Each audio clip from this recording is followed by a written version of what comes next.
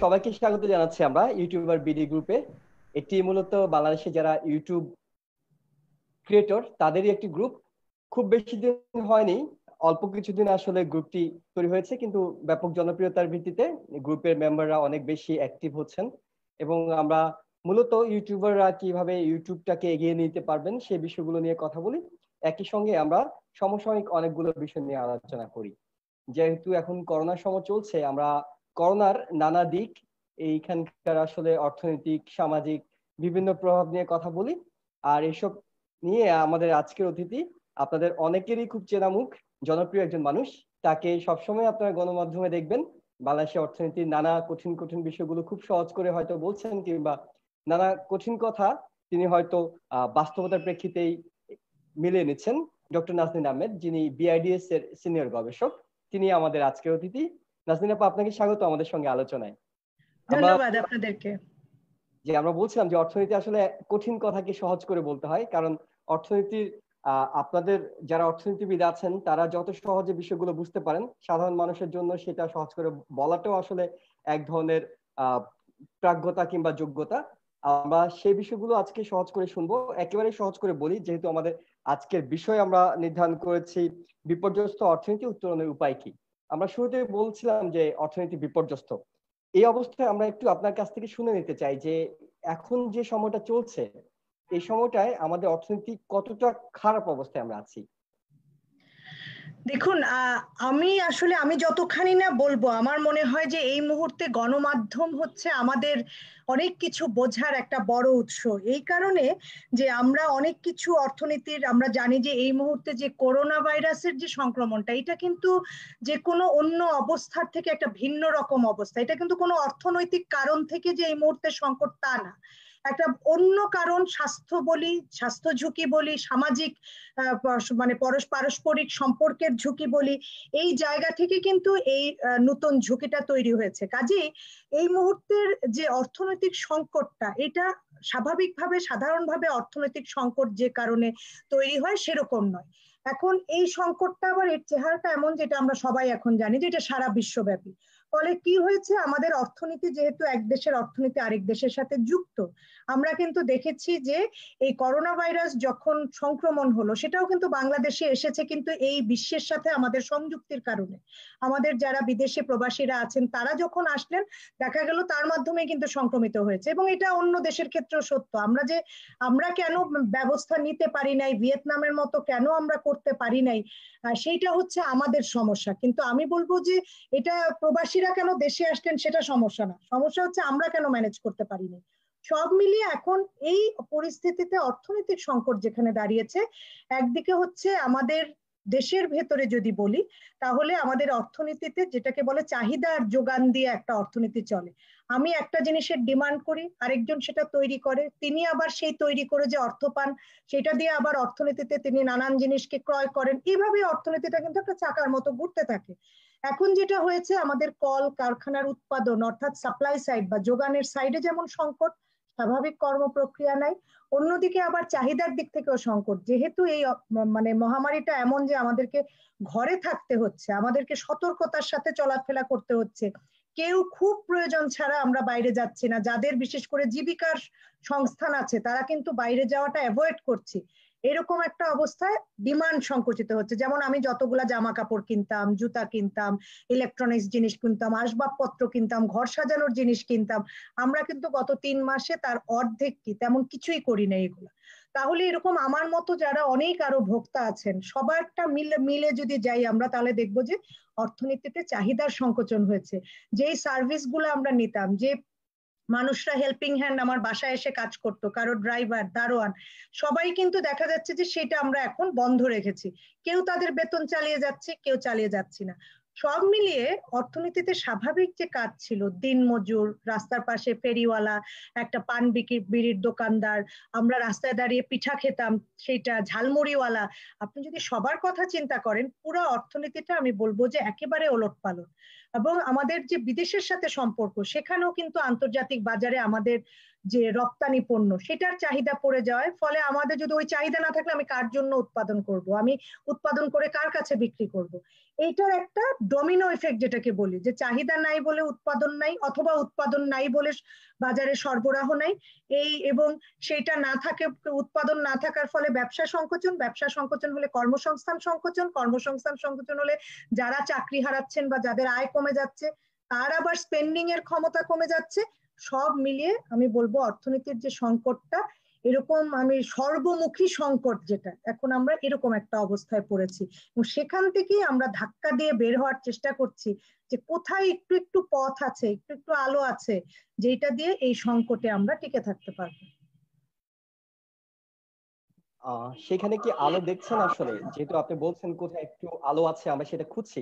এখন বৈশ্বিক যে একটা অবস্থা, সবারই তো আসলে মানে আপনি একটা সমস্যা পড়লে আরেকজন, আমরা সাধারণত কি করি? হয়তো নিজেদের মধ্যে যখন একটা সমস্যা পড়ে, আমরা হয়তো বন্ধুদের কাছে, আত্মীয়দের কাছে, কারও কাছে সহায়তা চাই, যিনি হয়তো ভালো অবস্থায় আছেন। এখন কি আপনার কাছে মনে হয় কেউ ভালো আছেন, যার কাছে গিয়ে আসলে সহযোগিতা চাওয়া যায়, যার কাছে আলো পাওয়া যাবে? দেখুন, কিছু মানুষ তো ভালো আছেনি এই করোনাতেও আমরা কিন্তু দেখছি যে একদিকে যেমন অর্থনীতি সংকুচিত হয়েছে, আবার কিছু কিছু ক্ষেত্রে কিন্তু নতুন চাহিদাও তৈরি হয়েছে। যেমন ধরেন, এমন অনেক কৃষিজাত পণ্য, এমন অনেক পণ্য এখন আমরা ডিমান্ড করছি কনজিউমার করছি, যেটা হয়তো স্বাভাবিক অবস্থায় এতখানি ডিমান্ড করা হয় না। অনেক মানুষই এখন কিন্তু যেভাবে আমরা অনেক ধরনের পণ্যে অভ্যস্ত হচ্ছি, সেইটা, তার ফলে যেটা হচ্ছে অনেক মানুষ সুইচ করছে। যেমন ধরেন আপনি বলছেন যে সাহায্য পাওয়া যায় কিনা। আমরা দেখেছি যে বাংলাদেশে দুই হাজার পর থেকে পৃথিবীতে যদি দেখি, তাহলে ওয়েলথেক্স বলে একটা অর্গানাইজেশন তারা একটা জরিপ করেছে এবং ওয়েলথেক্স এর জরিপে দেখা গেছে, বাংলাদেশে ধনীদের বৃদ্ধির হার পৃথিবীতে তৃতীয় মানে পৃথিবীর বিভিন্ন দেশে যে ধনী ব্যক্তির বৃদ্ধির হার হয়েছে, তার মধ্যে বাংলাদেশ তৃতীয়, তার মানে বাংলাদেশে ধনীর সংখ্যা লাফিয়ে লাফিয়ে বেড়েছে। ধনীর সংখ্যা বাড়াটা কোনো খারাপ কিছু না। আপনি যদি ঠিক পথে আয় করে ধনী হন, এটা তো ভালো কথা। আপনি যদি ধনী হন, আপনার দ্বারা অনেক মানুষের কর্মসংস্থান হবে, আপনি বেশি বেশি ট্যাক্স দিবেন, সমাজের উন্নয়ন হবে। এটার পিছনে অন্য গল্পগুলাতে আমরা আজকে নাই যাই, যে সত্যিকার অর্থে কি মানুষ সেভাবে ধনী হয়, সেটার গল্পে নাই যাই। আমরা দেখছি যে অনেক মানুষ ধনী হয়েছে বাংলাদেশে। বিপুল সংখ্যক মানুষের যাদের বাৎসরিক ইনকাম লাফিয়ে লাফিয়ে বেড়েছে, তাহলে তাদের কাছে তো আয় আছে। সব অর্থ বিদেশে চলে গেছে এমন তো না। কাজেই সাহায্য চাওয়ার মানুষ কিন্তু আছে এবং অনেকে এগিয়েও এসেছেন এবং আমরা দেখেছি যাদের কাছে হয়তো অত অর্থ নাই, আপনি বিভিন্ন গ্রুপ দেখেন আপনাদের মতো তরুণরা প্রচুর এগিয়ে এসেছে, তারা বিভিন্ন গ্রুপ করে মানুষের কাছ থেকে সাহায্য নিয়ে এই দুর্যোগের মধ্যে, এই রিস্কের মধ্যে কিন্তু তারা পৌঁছে দিয়েছে। কাজেই ওই জায়গায় কিন্তু আমি বরং উৎসাহিত হই। আবার মন খারাপ হয় যখন দেখি যে যারা এই কাজের সাথে ডিস্ট্রিবিউশনে জড়িত, যাদের কাছে অনেক পরিমাণে চাল গেছে ডিস্ট্রিবিউশনের জন্য গরিব লোকের কাছে সেই গরিব লোকের চাল যখন কেউ চুরি করেন কিংবা ঠিক মতো ডিস্ট্রিবিউট করেন না, এই যে এখন যেমন দেখছে করোনার জাল সার্টিফিকেট দিচ্ছে, ভুয়া সার্টিফিকেট দিচ্ছে, এগুলো আমাদেরকে ব্যাহত, ব্যথিত করে। একদিকে আমি দেখেছি যে অনেক সম্ভাবনা দেখেছি, অনেক তরুণ যুবক তাদেরকে দেখেছি, তারা এগিয়ে এসেছেন।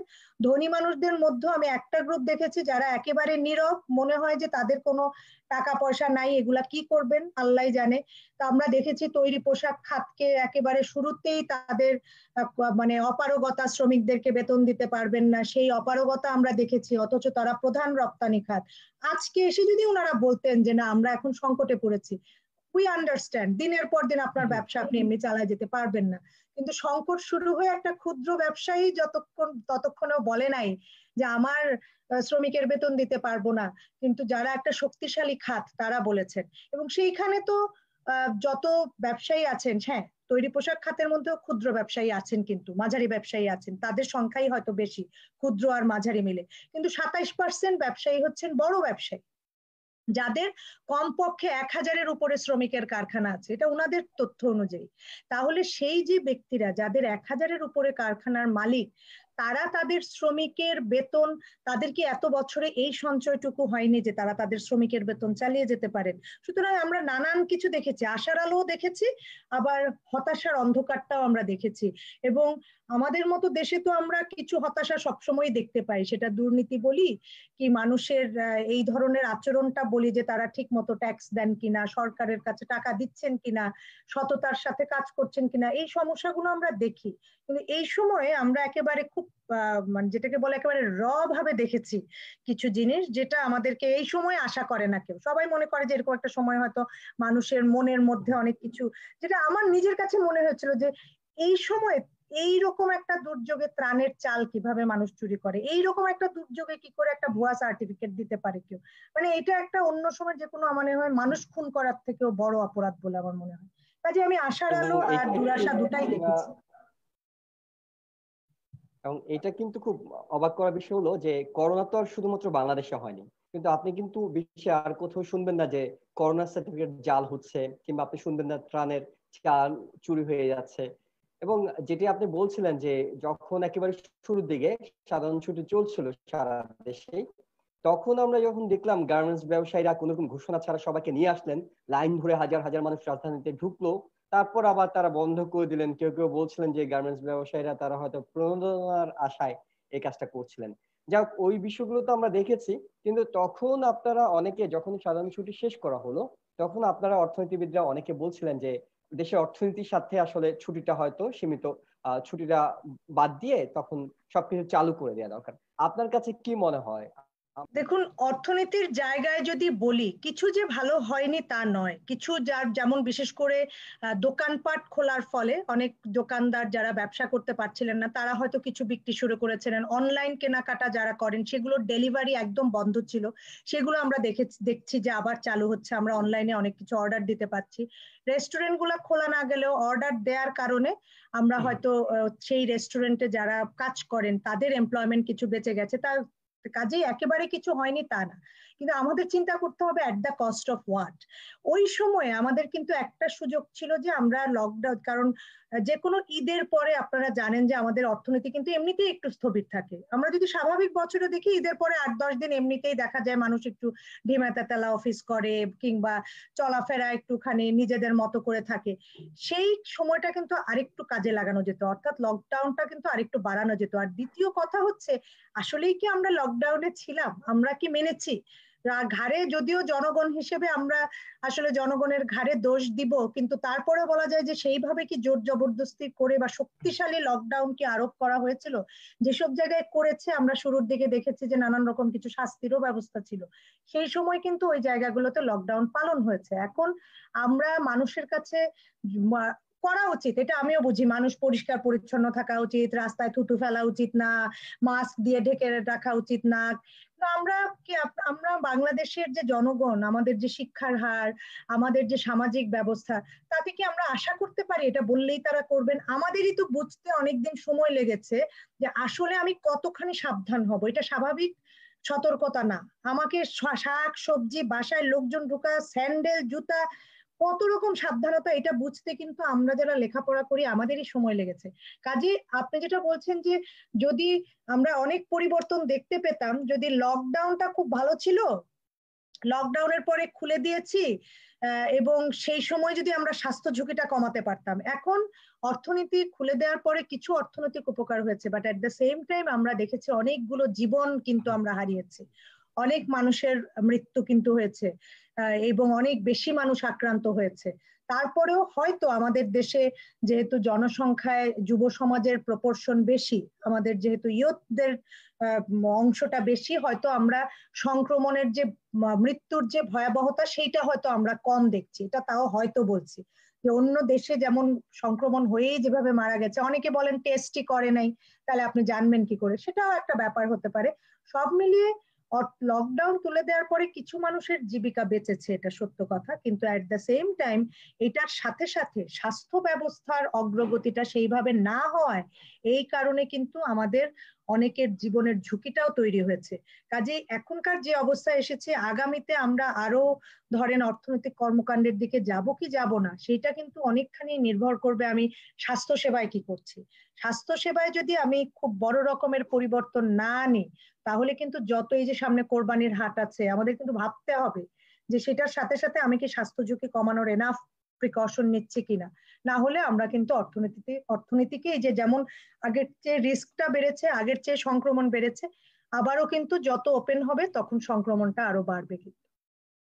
তার মানে আমরা জীবন এবং জীবিকা দুটোরই একটা দ্বন্দ্ব আমাদের মধ্যে কাজ করছে যে কোনটা আসলে আমরা বেছে নেব, এখানে একটা বিষয় কাজ করে। আমি না আসলে এটাকে দ্বন্দ্ব বলি না। আমি যদি খুব বলি যে এটা এমন না যে এটা পাশা আলাদা করে মানে জীবন বাঁচাইতে হলে জীবিকায় যাওয়া যাবে না, বিষয়টা তা না। আপনি দুইটাকে কিন্তু প্যারালালি রাখতে হবে। অর্থাৎ আমি অর্থনীতি খুলতে হবে। আপনার ধরেন আজকে যদি বলা হয় যে, না, আপনার কেউই কোনো দোকানপাট একেবারেই চলবে না, খুলবে না, তাহলে এটা তো দিনের পর দিন চলতে পারবে না। ব্যবসা বাণিজ্য করতে হবে। না হলে যে মানুষগুলো এগুলোর সাথে জড়িত আছেন, আমরা ইতোমধ্যে দেখছি আপনাদের বিভিন্ন প্রতিবেদনে অনেক মানুষ ঘর ছাড়ছে, বাড়ি চলে যাচ্ছে। এত কিছুর পরেও লক্ষ লক্ষ মানুষের কিন্তু তাদের স্বাভাবিক কর্মসংস্থানে নাই। কাজেই এটা সবাইকে সরকার সাহায্য দিয়ে পারবে না। মানে এটা কতদিন চালাতে পারবে? হয়তো এক মাস, দু মাস, তিন মাস। আমরা তো জানি না কয় বছর এটা চলবে। কাজে সেই জায়গায় অর্থনৈতিক কর্মকাণ্ডে কিছুটা যেতে হবে। কিন্তু এটার প্যারালালে চলতে হবে আমার স্বাস্থ্য ব্যবস্থা। অর্থাৎ আমি যদি ফিল করি যে আমার এখন টেস্ট করানোর দরকার, আমি যেন টেস্ট করার এনাফ সুযোগ থাকে আমি যদি মনে করি যে আমার এখন অসুস্থতা এত বেশি যে আমার হসপিটালে যেতে হবে, আমি যেন খুব সহজে হসপিটালে চিকিৎসা পাই। এবং শুধু তো করোনা না, দেখা যাচ্ছে যে হার্ট অ্যাটাকে মানুষ মরে যাচ্ছে অনেক। কেন? চিকিৎসা পাচ্ছে না। এক হাসপাতাল থেকে আরেক হাসপাতালে দৌড়দৌড়ি করছে। কাজে আমি বলব যে এই জীবন ও জীবিকা আসলে দুই মুখে দাঁড়িয়ে নাই যে এটা করলে ওইটা করা যাবে না। দুটোর মধ্যে একটা ব্যালেন্সড ওয়েতে যদি আমি নিতে পারি, আমি যদি এখন গ্রামে, গঞ্জে, বিভিন্ন জায়গায় স্বাস্থ্য সচেতনতার যে বিষয়টা সেইটা বাড়াতে পারি, তাহলে কিন্তু বাংলাদেশে এখনও অনেক জায়গা আছে যেখানে করোনা ওইভাবে সংক্রমণ হয় নাই। সেই মানুষগুলোকে যদি ব্যাপকভাবে সচেতন করা যায়, মানুষের মুভমেন্টের ব্যাপারে যদি মানুষের মধ্যে সচেতনতা আনা যায় এবং মানুষ আক্রান্ত হলে কি করবে? আপনি কি ধরেন, আমারই নিজের বুঝতে অনেক সময়, চিন্তা করতে সময় লাগছে আচ্ছা আমার যদি বাসার মধ্যে কিছু আমি কাকে ফোন দিব? কোন হসপিটালে যাব? এই যে প্ল্যান করা, আপনি দেখেন প্রত্যেকের মোবাইলে আমরা অন্তত দশ পনেরোটা করে ফোন নাম্বার লিখে রেখেছি। ওষুধ কিনে ভরায় রেখেছে যে এই ওষুধ খাইতে হবে, এক একবার এক একটা দেয় আর আমরা যে সেই ওষুধগুলা কিনি। যাদের সামর্থ্য আছে অক্সিজেন সিলিন্ডার কিনে বাসা ভরিয়ে রেখে দিয়েছে। কিন্তু আপনি চিন্তা করেন যে সাধারণ মানুষের কথা ভাবেন। তাদেরকে কি আমরা জানিয়েছি? কতজন কত এলাকায় জানে যে যদি আমার এলাকায় সংক্রমণ হয় আমি কি করব? সেই প্রস্তুতিটা যদি আমরা এখন নেই, তাইলে কিন্তু জীবন জীবিকা সংঘর্ষটা অত হবে না। স্বাভাবিক পরিস্থিতি তো হবে না এখন, সেটা তো ঠিক। স্বাভাবিক একেবারে আগে যেরকম ছিলাম সেটা হবে না। কিন্তু একেবারে জীবিকা বন্ধ করে রাখতে হবে জীবন বাঁচাতে হলে, তা কিন্তু না। জীবন বাঁচাতে হলে প্রথম দরকার হচ্ছে আমার স্বাস্থ্য ব্যবস্থার যে অগ্রগতি। এবং স্বাস্থ্য ব্যবস্থার অগ্রগতি মানে অনেক বড় কিছুর কথা আমি এই মুহূর্তে বলছি না। ইভেন ধরেন এখন আমাদেরকে বলা হচ্ছে কি, ডাক্তাররা এখন কম মারা যাবে, কারণ পিপিইতে পড়তে তাদেরকে ট্রেনিং দেওয়া হয়েছে। মানে আমি ঠিক বুঝি না যে এগুলা কি ধরনের কথাবার্তা। মানে তার একজন ডাক্তার, উনি প্রিকশন নিতে জানতেন না। বরং ডাক্তারের যেই জায়গাটায় এখন সমস্যা আছে, ডাক্তারদের যেই জায়গাটাতে আমি মনে করি যে আরও বিশেষ করে যারা ইয়াং ডক্টরস তারা কি করে এরকম একটা সময়ে রোগী হ্যান্ডেল করতে হবে? Professor Enamul Haque East University উনি সুন্দর একটা লেখা লিখেছিলেন গত সপ্তাহে। ওখানে উনি বলেছেন যে রোগী হ্যান্ডলিং এর যে প্রোটোকল এই প্রোটোকলটা শেখানো দরকার। কারণ আমাদের অনেক ইয়াং ডাক্তার যারা অনেক ভালো ট্রেনিং নিয়ে বের হয়েছেন, কিন্তু এই রকম একটা অবস্থায় ছোঁয়াচে রোগী তাদের হ্যান্ডেল করার মতো তো ওনাদেরকে আমরা ভালো ট্রেনিং না দিয়েই যদি বলি যে, তুমি তাদেরকে হ্যান্ডেল করো, এটা তো হবে না। বিশেষ করে গ্রামে, গঞ্জে, সেইখানে এনাফ স্বাস্থ্যকর্মী আছে কিনা যারা এই জিনিসটা বুঝে। কাজে আমি বলব যে, একটা প্যারালাল চলার দরকার, স্বাস্থ্য আর জীবিকা, জীবন এবং জীবিকা। তাহলে সংঘর্ষটা কম হবে। মানে এখন আমরা হয়তো চিকিৎসার কথা বলতে গেলে অনেকে মনে করেন এটা আসলে আলাদা একটা বিষয়। কিন্তু আপনি বলছেন যে চিকিৎসাটা এখন পুরোপুরি আমাদের অর্থনীতির সঙ্গে সম্পর্কিত। কারণ আমাদের যতটা ভালো চিকিৎসা ব্যবস্থা তৈরি করা যাবে, আমরা হয়তো অর্থনীতিতে তত বেশি এগিয়ে যাওয়ার সুযোগ থাকবে।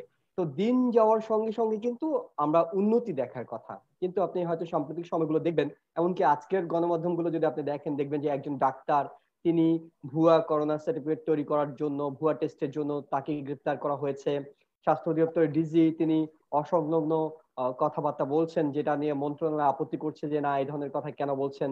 শাহেদের কথা আমরা দেখছি, রিজেন্ট, একদিকে জেকেজি। তো দিন যাওয়ার সঙ্গে সঙ্গে আসলে উন্নতির জায়গাগুলো তো আমরা দেখছি না। আরও বেশি এরকম আমাদের কাছে অসঙ্গতি গুলো চোখের সামনে চলে আসছে। এটা কি নাগরিক হিসেবে আপনাকে আহত করে কিনা? না আমি এটাকে কীভাবে দেখি? মানে প্রথমেই বলেছি এটা ভীষণ আহত করে। মানে এই সময়ে যেখানে বাংলাদেশের মতো দেশে আমরা বলছি যে দুটা টাকা হলেও সেই টাকাটা আমরা কি করে প্রোডাক্টিভলি ব্যবহার করব? কি করে আমার দেশের এত বিপুল সংখ্যক যে মানুষ সেই মানুষের সবাইকে আমরা কি করে অন্তত খাওয়ায়, পড়ায়, বাঁচায় রাখব? সেই চিন্তা আমরা করছি। যেখানে মানুষকে আমরা ভাবছি যে তাদের একটা জীবনেরও যেন বাড়তি অপচয় না হয়। সেইখানে এই ধরনের মানে আমাদেরকে এরকম একটা অবস্থার মধ্যে ঠেলে দেওয়া মানে সরকারকে আমরা সব সহজেই অনেক কিছুতে দোষ দিই। কিন্তু এই জায়গাটা আমি চিন্তা করছি যে মানে কোন দিকে সামলাবে? এবং এখন খুবই দরকার হচ্ছে কঠোর শাস্তি এই মানুষগুলার। কারণ অন্য আমি মনে করি দুর্নীতির সবসময় শাস্তি হওয়া উচিত। কিন্তু এখন শুধু দুর্নীতিটা যে মানে সীমিত সংখ্যক মানুষকে এফেক্ট করছে তা না। আপনি আমাকে সবাইকে এফেক্ট করছে। কারণ আমি জানি না আমি কালকে একটা সার্টিফিকেট নিলে এটা কি সত্য কি মিথ্যা কি হবে? সারা দুনিয়ায় আমাদেরকে নিয়ে যে এইসব জিনিস লেখা হচ্ছে বিদেশের পত্র পত্রিকাগুলা ভরে যাচ্ছে আমাদেরকে নিয়ে লিখছে। কালকে যে আমরা বিভিন্ন বিদেশিদেরকে আমরা বিভিন্ন সাহায্যের জন্য বলব, কি আমরা ইনভেস্টমেন্টের জন্য বলব, আমরা রপ্তানির জন্য যাব, আমাদের রেপুটেশনটা কোথায়? আমি এটা সেদিন ফেসবুকে পোস্ট দেওয়ার পরে আমার একজন সাংবাদিক বন্ধু, উনি খুব ভালো বলেছেন যে, আপা, আমাদের এমনিতে রেপুটেশনটা কি? আমি তার উত্তরে বলেছি, আমি এটা বলব না। বলব না মানে হচ্ছে, এমনিতেই তো আমরা জানি যে, আমরা আসলে অনেক সমস্যায়। সেইখানে যখন নতুন করে এগুলা যোগ হয় তখন আমাদেরকে ভাবতে হয় যে এরা কিন্তু এর চেয়ে বড় দেশদ্রোহিতা আর নাই আমার কাছে মনে হয়। যে এই, এইরকম ভাবে একটা বিশ্বাসঘাতকতা। কারণ এটা শুধু ওই তার ওই পাঁচ পাঁচ কোটি, দশ কোটি টাকার ইনকাম বা সেটা করেছে তাকে দুর্নীতি, সেটা না। আমার পুরা দেশের, যেখানে আমি, আপনি আছি, আমাদের রেপুটেশনটাকে খারাপ করছে। আমি আর আপনি কালকে বিদেশ গেলে মানুষ বলবে যে, তোমার দেশে তো এরকম সময় করোনার সার্টিফিকেট তুমি জাল দাও। কাজে তোমার কোনো স্ট্যাটিস্টিক্স আমি বিশ্বাস করি না। সুতরাং এই জায়গাটাতে আমি মনে করি যে কঠোর হওয়া দরকার। আপনি ঠিকই বলেছেন আমাদের কষ্ট লাগে এগুলো। কষ্ট এখন আর মানে ওই কষ্টকে শুধু কষ্ট রাখলে হবে না। আমি মনে করি এই শাস্তিগুলো কঠোর হলে অন্তত আগামীতে মানুষ এই কাজগুলো মানে যাতে যে ক্ষমতার দেখাইলেই যে তাকে উনি আইনের বাইরে থাকবেন তা নয়। আমি আশাবাদী হতে চাই যে মাননীয় প্রধানমন্ত্রী যেখানে বারবার বলেছেন যে করোনার এই সময় একটা কেউ যদি কিছু করে সেটা টলারেট করা হবে না। আমি মনে করি যে সেইটার প্রতিফলনটা এখন জনগণ সবাই, আমি সাধারণ মানুষের মতো বলছি যে আমরা দেখতে চাই এবং কারণ আমরা এটাতে বিশ্বাস রাখতে চাই। আদারওয়াইজ এই মানুষগুলো এরকম আরও যখন আরও মানুষ থাকবেন, আমি মনে করি তখন যারা মানে দুর্নীতি করে করে পার পেয়ে গিয়ে অনেকে আজকে অনেক বড় হয়েছে। সেই দুর্নীতি করে যে পার পাওয়া যায় না, এর কয়েকটা এক্সাম্পল এখন সেট করা দরকার। এবং যেটি বলছিলেন যে বিদেশে আমাদের হয়তো এটি প্রভাব পড়বে, প্রভাব কিন্তু পড়তে শুরু করেছে। জাপান, কোরিয়া এবং সাম্প্রতিক সময়ে আমরা ইটালি থেকে দেখেছি যে আমাদের অনেকগুলো মানুষকে ফিরে দেওয়া হলো। তা যাওয়ার পরও তাদেরকে ফিরে দেওয়া হলো। এখন হয়তো এটা আমাদের কাছে মনে হচ্ছে যে মানুষ ফিরে দিচ্ছে কদিন পর তো আসলে আমরা যে যে ধরনের প্ল্যান নিয়ে যাব, পরিকল্পনা নিয়ে যাব, তাদের কাছ থেকে হয়তো কোনো একটা সাহায্য চাই, তখন তো আমাদের পরিকল্পনাগুলোকে ফিরে দেওয়া হবে। তখন গিয়ে আমরা কোথায় দাঁড়াবো? আমাদের মানুষজন এর মধ্যে আমি একটু যোগ করি যে, যেহেতু প্রবাসী প্রচুর জন কর্মীকে পাঠিয়ে দেওয়া হচ্ছে, আমরা এর মধ্যে দেখেছি যে, প্রায় দুই লাখের বেশি শ্রমিক পাঠিয়ে দেওয়া হয়েছে। তো সামনের দিনগুলোতেও পাঠিয়ে দেওয়ার একটা যদি বিমান চলাচল শুরু হয়, সেটা অনেক বেশি রকম আশঙ্কা আছে। তখন গিয়ে আলটিমেটলি কি দাঁড়াবে? এতগুলো মানুষ যখন চলে আসবে, তখন আমাদের রেমিটেন্সের জায়গাটা কোথায় যাবে? মানুষগুলো এসে কি করবে? তাদেরকে নিয়ে পরিকল্পনা কি? সেই বিষয়গুলো কি আসলে ভাবছে কিনা সরকার?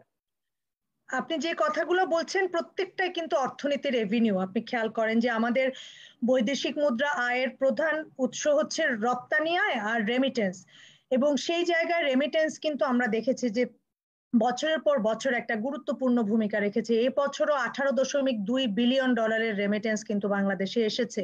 এমনিতেই আমরা দেখছি যে আমাদের যেহেতু বেশিরভাগ মানুষ মধ্যপ্রাচ্যে কাজ করেন, মধ্যপ্রাচ্যে তেলের দাম কমে যাওয়ায় সেই অর্থনৈতিক সংকোচের কারণে সংকোচনের কারণে তাদের অনেককে ফেরত আসতে হচ্ছে।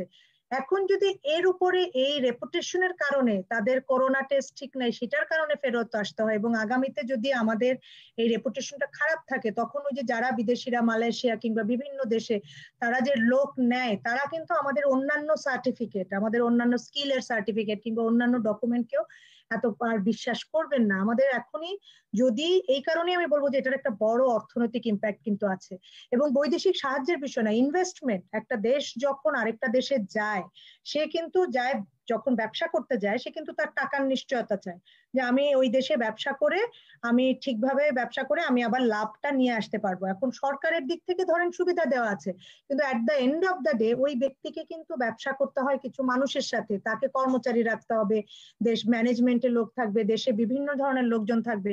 কাজে উনি যদি তাদেরকে ট্রাস্ট করতে না পারেন, যদি জানেন যে এই দেশে, কারণ এতভাবে কিন্তু আগে জানা ছিল না। আগে যেগুলো মানুষ জানতো যে হ্যাঁ অনেক জায়গায় হয়তো ঘুষ, দুর্নীতি, এসবের কথা জানতেন। কিন্তু এখন দেখা যাচ্ছে যে এগুলো কিছু বিষয় হচ্ছে অকল্পনীয় ব্যাপার। মানে স্বাস্থ্যতে মানে একজন যখন ইনভেস্ট করবে, সে তো এই দেশে এসে তাকে থাকতে হবে। উনি যদি জানে আমার হসপিটাল এরকম উনি যদি জানে এখানে এরকম উল্টাপাল্টা ওষুধের সার্টিফিকেট দেয়, উল্টাপাল্টা পরীক্ষার সার্টিফিকেট দেয়, উনার কি নিরাপদ বোধ হবে এই দেশে আসতে, নাকি উনি চাইবেন আমার ইনভেস্টমেন্টটা আমি ভিয়েতনামে করব? কাজে আমাদের এখন এই দুই চারটা মানুষের এই এখনকার অবস্থাটা, এটা কিন্তু শুধু আগেই বলেছে, এটা শুধু তাদের একটা দুর্নীতি শাস্তি দিলাম তা কিন্তু নয়।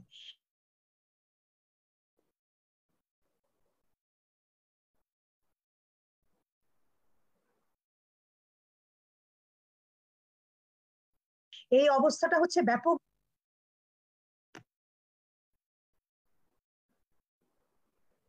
আমি বলা শেষ করেছিলাম জি।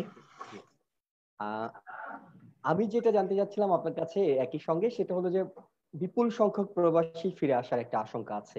এর মধ্যে বলা হচ্ছে যে দুই লাখ মতো ফিরেছে এবং বিশেষ বিমান যখন বিশেষ বিমানে করে তখনও তেইশ হাজার বেশি ফিরেছে।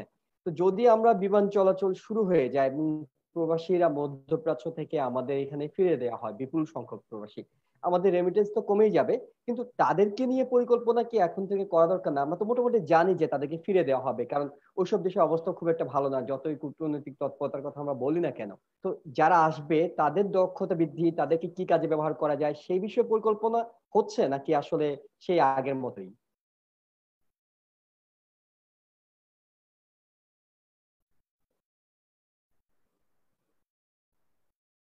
জি আপা, আপনি কি শুনতে পাচ্ছেন?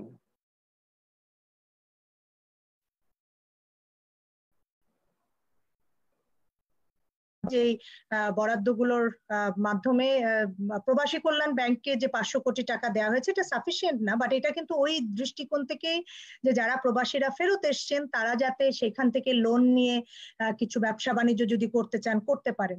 তবে আমি একটু অন্যভাবে চিন্তা করি। আমি চিন্তা করি, দেখেন, এই প্রবাসীরা যারাই একবার দেশের গন্ডি পেরিয়ে অন্য একটা দেশে থেকে এসছেন, তাদের কিন্তু এই এই ব্যক্তিদের যে যতটুকু লেখাপড়া বা যতটুকু দক্ষতা যাই থাকুক না কেন, তাদের সমমানের লেখাপড়া বা দক্ষতার যারা দেশে থেকেছেন, তাদের থেকে কিন্তু এদের চিন্তা ভাবনাটা অনেক বেশি, আমি বলব যে ব্যাপক হয়েছে। কারণ উনি বিদেশের মাটিতে থেকেছেন অন্য ভাষাভাষী লোকজনের সাথে দেখা হয়েছে, একটা এয়ারপোর্ট পার হয়ে গেছেন, যারা বহু বছর থেকেছেন, তাদের তো কথাই নেই। আমি বরং মনে করি যে তাদের দক্ষতাটা আমরা কাজে লাগাতে পারি। এই ব্যক্তিদেরকে কিন্তু তাদের সবাই যদি তাদের অনেকেই বিদেশে ফেরত যেতে হয়তো পারবেন না, তাদের অনেকে চলে আসবেন, তাদের আবার যে যাওয়া, সেই খরচ কিংবা চাকরি সেটা কবে হবে সেটা উনি জানেন না। কাজে আমরা বরং একটা যদি তালিকা আমাদের মধ্যে থাকে যে যারাই যখনই ফিরছেন, আমরা এয়ারপোর্টে সেখানে যদি একটা ফর্ম ফিল আপ করে রাখা হয় যে তিনি কোন দেশে ছিলেন, তার ঠিকানাটা কি এবং তিনি কোন কাজে দক্ষ? আমি মনে করি এই ডেটাবেসটা যদি অনলাইনে থাকে, প্রবাসী কল্যাণ মন্ত্রণালয়ের পক্ষ থেকে, তাহলে যেটা হবে, কেউ যখন চাইছেন যে আমি এই ব্যক্তিগুলো কিন্তু অনেকে একটু ইংরেজিও জানেন। আপনি অনেক দক্ষতা, তাদের দক্ষতাকে কিন্তু কাজে লাগাতে পারবেন। সো আমি মনে করি যে এটা যদি জানে মানুষ যে হ্যাঁ এরকম একটা ডেটাবেস আছে, বিদেশ থেকে থেকে আসা লোকজনের ডেটাবেস আমি মনে করি যে, সেটা অনেক জায়গায় কিন্তু তাদের কাজের সুযোগ তৈরি করবে এবং এদেরকে কাজে লাগিয়ে আমাদের অন্য মানুষদের নানান রকম দক্ষতাও বাড়ানো যাবে। কারণ যে কোনো সময় বাইরে একটা মানুষ থেকে আসে, এমনকি ধরেন যে মেয়েটি বিদেশের একটা বাসায়ও কাজ করে এসেছে, তার জ্ঞান কিন্তু অনেক কিছু চালানোতে সে অভ্যস্ত। অনেক ধরনের হোম গ্যাজেট সে চালাতে পারে। এখন সে যদি একটা ব্যবসা বা কোনো ট্রেনিং এ যেতে চায়, সে কিন্তু যেতে পারবে। এই জায়গাতে আমি মনে করি যে একটা ডেটাবেস তৈরি হওয়া দরকার। এই মানুষগুলোর জন্য তারা যাতে তাদের নিজস্ব যদি ফিরে যেতে না পারেন তারা, নিজেদের, কারণ তারা এখন চাকরি বাকরি করতে হলে এই ব্রিজিংটা করে দিতে হবে আর নিজস্ব ব্যবসাও যাতে তারা করতে পারেন, সেই জায়গায় সাপোর্টটা লাগবে। এবং এখানে সবচেয়ে ভালো হয় যে আমরা যে এখন দেখছি যে গ্রামীণ অর্থনীতি আমাদের এখন খুবই ইম্পর্টেন্ট এই সময় আমাদের টিকে থাকার জন্য গ্রামীণ অর্থনীতি ইম্পর্টেন্ট এবং যে সকল গ্রামে এরকম প্রবাসী, ফেরত আসা প্রবাসী আছেন তাদেরকে নিয়ে আমি মনে করি যে ওইখানকার প্রশাসন তারা ভাবতে পারেন যে এই প্রবাসীদেরকে যেহেতু তাদের, তারা একটা আধুনিক সমাজ কিংবা আধুনিক চিন্তা ভাবনা কিংবা এই যে বিভিন্ন রকম স্কিল তারা অর্জন করেছেন, সেইটা স্থানীয়ভাবে কীভাবে কাজে লাগানো যায়?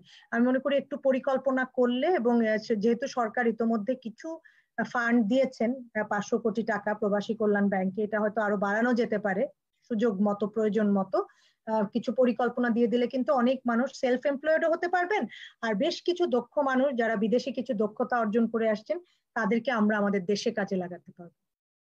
সেক্ষেত্রে আপা, আমরা বলছিলাম যে কি হতে পারে সেই বিষয়গুলো নিয়ে আমরা আলোচনা করছিলাম, কিন্তু যা হচ্ছে সেগুলোতে যদি ফিরতে চাই, সেটা হলো যে প্রচুর মানুষ এখন চাকরি হারাচ্ছে। এমন হচ্ছে যে অনেকেই আমরা দেখছি যে গণমাধ্যমগুলোতে তারা পেশা পরিবর্তন করছেন, যিনি হয়তো একসময় গার্মেন্টস কর্মী ছিলেন, তিনি এখন হয়তো মৌসুমি ফল বিক্রি করছেন, সবজি বিক্রি করছেন, এ ধরনের অনেক কিছুতে মানুষ অভ্যস্ত হচ্ছে। এইটা আসলে সামাজিক একটা কোন রকম অস্থিরতা তৈরি করবে কিনা কিংবা যারা গ্রামে চলে যেতে হচ্ছে, প্রচুর মানুষকে আমরা দেখছি ঢাকা শহর ছেড়ে চলে যাচ্ছেন, তারা কি করবে? আপনি না হয় যারা বিদেশ থেকে ফিরলেন তাদের কথা বললেন। কিন্তু যিনি এই ঢাকায় ছিলেন গার্মেন্টস কর্মী ছিলেন, ছোট্ট একটা এনজিও তে কাজ করতেন, ছোট্ট একটা বেসরকারি প্রতিষ্ঠানে কাজ করতেন, তাকে নিয়ে আসলে কি করা উচিত? তিনি কি করবেন গ্রামে গিয়ে? দেখুন, আমরা সবকিছু সরকারের পক্ষ থেকে আসলে করতে পারবে না। এত এত মানুষ এখন যা কাজ হারাচ্ছেন। এখন আমি যেটা মনে করি যে প্রথমত হচ্ছে যারা পেশা পরিবর্তন করতে পারছেন বা করছেন, আমি তাদেরকে কংগ্রেচুলেট করি। কারণ এটা একটা সার্ভাইভাল স্ট্র্যাটেজি আজকে আমি একটা, এই কাজটা করতে পারছি না, আমার যেটা আছে সেটা করেই আমাকে জীবিকা নির্বাহ করতে পারবে। তার যে আরেকটা সুযোগ করতে পারছেন উনি বা ওনার আরেকটা স্কিল আছে অথবা উনি চিন্তা করেছেন যে আমাকে এখন সার্ভাইভ করার জন্য আমার এত কিছু ভাবতে চলবে না, আমি ফল বিক্রি করতে হলে সেটা করেই আমি আমার জীবিকা নির্বাহ করব। আমি তাকে সেলুট জানি যে এটা উনি করছেন সার্ভাইভালের জন্য এবং এটা করতে হবে। যেখানে যে সুযোগগুলো তৈরি হচ্ছে সেটাই নিতে হবে। আমার যে চাকরিটা চলে গেছে, এখন এইখানে আমরা যেটা আমি নিজেও অনেক জায়গায় বলেছি যে সব মালিকদেরকে অনুরোধ করি যে আপনি যতটা পারেন আপনার এমপ্লয়ীদেরকে চাকরিটা রাখার চেষ্টা করেন। নিশ্চয়ই একজন এমপ্লয়ার সেটা আমি মনে করি, আমি এটা বিশ্বাস করি যে বেশিরভাগ এমপ্লয়ারই সেটা চান। কারণ তার যদি ব্যবসাটা আগামীতে চালাতে হয়, তারই দক্ষ লোকটাকে কিন্তু উনি হারাতে চান না। কিন্তু তারপরে যখন চলে যাচ্ছে, কিছু কিছু ক্ষেত্রে আছে হ্যাঁ অনেকে মনে করছে আমি চাইলেই আবার পাবো, ছাটাই করে দেই, এখন দরকার নাই, আবার যখন চাইব তখন পাবো, আমি তাদের কথা বলছি না। কিন্তু যেখানে বাধ্য হচ্ছেন যে আর ব্যবসা চালানো যাচ্ছে না, ছাটাই করতে হচ্ছে, সেইখানে সেই ব্যক্তিগুলা বা যাদের ইনকাম কমে গেছে, তারা অল্টারনেটিভ যা কিছু পারে সেটাতে যাওয়াটাই যুক্তিসঙ্গত। এখন সেইখানে সরকার কি করতে পারে? সরকার যেটা করতে পারে যে কিছু কিছু নতুন যে সম্ভাবনা তৈরি হয়েছে, যেমন আমি কি করি একটা একজন হয়তো পণ্য এতদিন অনলাইনে দিত না, সে দিতে চায়, কিন্তু হঠাৎ করে তার পক্ষে জানা সম্ভব না যে ডেলিভারি সিস্টেমটা কি করে হয়। আবার আরেকজন হয়তো এই ডেলিভারি সিস্টেমে যোগ দিতে চায়। এই জিনিসগুলোতে আমি মনে করি যে সরকারের যে রেগুলার যেগুলো ট্রেনিং প্রোগ্রাম ছিল, সেগুলোর সাথে সাথে কিছু অনলাইন ট্রেনিং যুক্ত করা দরকার। এবং সেখানে সরকার যেমন বিটিভি ব্যবহার করে সাধারণ যে লেখাপড়া, সেটা যেরকম দিচ্ছে, আমি মনে করি সেখানে সপ্তাহে একদিন বা কোনো একটা সময় একটা ঘণ্টা এই ধরনের স্কিল ট্রেনিং এর জন্য এটা ব্যবহার করা উচিত। হয়তো কিছু কিছু হচ্ছেও এখন। আমাদের দেশে প্রচুর কমিউনিটি রেডিও আছে। বেশ কয়েকটা এলাকায় উনিশ বা বিশটা বোধ আছে কমিউনিটি রেডিও সেই সব এলাকায় আমি শুনেছি যে ইতোমধ্যে তারা এই ধরনের স্কিল ট্রেনিং এর বা আত্ম উন্নয়নমূলক কি করতে পারে ওই এলাকায় এই ধরনের উপদেশমূলক বিভিন্ন জিনিস বলছেন। এবং আমি মনে করি যে এগুলো চালু রাখা উচিত। সবাইকে অনলাইন ট্রেনিং হয়তো প্ল্যাটফর্ম যতটা ব্যবহার করা যায়, যে আজকে আমরা যেভাবে ব্যবহার করছি সেরকম। ইউটিউব ভিডিও প্রাইভেটলি অনেক তৈরি করা হচ্ছে। কিন্তু আমি মনে করি যে সরকারি ব্যবস্থাপনায় যদি কিছু ইউটিউব ভিডিও তৈরি করে আপনার, আমাদের যে উপজেলা ডিজিটাল সেন্টারগুলো যেগুলো আছে, তাদের তত্ত্বাবধানে যদি টাইমলি যারা দেখতে চান, একসাথে ভিড় করে না, একটা সিস্টেম করতে পারেন যে তারা সামাজিক দূরত্ব মেনে শিফটে শিফটে এক এক শিফটে হয়তো দশ জন, পনেরো জন, কারণ ওই উপজেলায় ওই উপজেলায় তো আর লক্ষ লক্ষ মানুষ হবে না। তাদেরকে ওনারা কিছু ট্রেনিং দিতে পারেন। এই মুহূর্তে যেমন আমি একটা বড় সম্ভাবনা দেখি, আমি যেমন একটা উদাহরণ দিই যে প্রচুর নারী উদ্যোক্তা তাদের কিন্তু বিউটি পার্লার ছিল, যে বিউটি পার্লারগুলো এখন বলতে গেলে বন্ধ। সেইখানে কিছু নারী উদ্যোক্তাকে আমরা দেখছি যে তারা বিউটি পার্লারের যে প্রোডাক্টগুলো, অনেকে যে ফেস প্যাক ব্যবহার করে, কারও মুখে ব্রন হলে সেটার চিকিৎসা করতে যায়, তারা ওই প্যাকগুলো তৈরি করে তারা অনলাইনে বিক্রি করছে। তো এটা তার স্বাভাবিক অবস্থার মতো আয় তার হচ্ছে না বাট দিস ইজ অল্টারনেটিভ আমি দেখছি যে এখন অনেক বিউটিশিয়ান যারা যারা বিশেষ করে যারা কর্মী হিসেবে কাজ করতেন, তারা বাড়িতে গিয়ে ওয়ান টু ওয়ান সার্ভিস দিচ্ছেন। বাসায় গিয়ে হয়তো চুলটা কেটে দিয়ে আসছে। অর্থাৎ অল্টারনেটিভ একেবারে সম্ভব না তা না। এখন সংযোগটা করে দেয়া। সবাই কিন্তু সেবা এক্স ওয়াই জেড এরকম যে প্ল্যাটফর্মগুলো আছে বা এরকম আরও অনেক কয়টা আছে জানেন না। কাজেই কিছু সংযোগ ঘটিয়ে দিলে কিছু মানুষের এমপ্লয়মেন্ট থাকবে। অল্টারনেটিভ এটা তার রেগুলারটা না। কিন্তু এই রেগুলারটা তো এখন নাই। বিউটি পার্লারে আমি না গেলে তো একজন বিউটি পার্লার যিনি দিয়ে রেখেছেন, তিনি তো আমাকে সেবা দিচ্ছেন না, আমি তো যাচ্ছি না। ঠিক একইভাবে আমি আবার সম্ভাবনা দেখি অ্যাগ্রো প্রসেসিং এ। আমরা এই মুহূর্তে ঘরে থাকার কারণে, এটা আমি মনে করি, যারা আমাদের যাদের খাওয়ার মতো ক্ষমতা আছে, তারা কিন্তু বেশি খাচ্ছি। শুনে জিনিসটা হাসি পেতে পারে। কিন্তু আমরা ঘরে তো এতক্ষণ থাকি না। যেই মুড়ি কিংবা চানাচুর ভাজা কিংবা আচার যেটা খাওয়ার আমার সময়ই হয় না, আমাদের কিন্তু অনেকের সেই সময়টা হচ্ছে। ফলে আমি এখন দেখছি অনেক অ্যাগ্রো প্রসেসড প্রোডাক্টের চাহিদা তৈরি হচ্ছে এবং আমি দেখলাম অনলাইনে সেদিন আমি নিজে কিনেছি ঝালমুড়ি মাখানোর মশলা। জাস্ট রাস্তায় তেল দিয়ে যে মশলাটা করে আপনাকে ঝালমুড়িটা মাখিয়ে দেয়, ঠিক তেল তেল মশলা মিশিয়ে এরকম একটা জিনিস বিক্রি করা হচ্ছে। ভেরি ইন্টারেস্টিং আমি এটা কিনে দেখলাম ইটস ফ্যান্টাস্টিক এটা দিয়ে মুড়িটা মাখানোর পর মনে হলো এটা সেই রাস্তার মামার মুড়িটাই খাচ্ছি। কাজে এখন তো আমি রাস্তায় সেই মুড়িটা পাচ্ছি না। আমি জাস্ট এক্সাম্পল হিসেবে বললাম যে ইনোভেটিভ হতে হবে আমাদেরকে অনেক। অ্যাগ্রো প্রসেসিং এর নতুন সুযোগ তৈরি হয়েছে। এই সুযোগগুলোর জন্য আমাদের কিছু ট্রেনিং ওই যে অনলাইনে এইভাবে দিতে হবে। যেসব জায়গায় সবজি প্রচুর উৎপাদন হয়, সেই সবজিগুলোকে প্রসেস করা, যেখানে মাছ উৎপাদন হচ্ছে, সেই মাছগুলোকে প্রসেস করা। এবং আমি মনে করি এখন কিন্তু আমাদের সম্ভাবনা আছে যে আমরা এই অ্যাগ্রো প্রোডাক্ট কিন্তু বিদেশেও রপ্তানি করতে পারব। নর্মালি আমরা যতটুকু করি তার চেয়েও বেশি।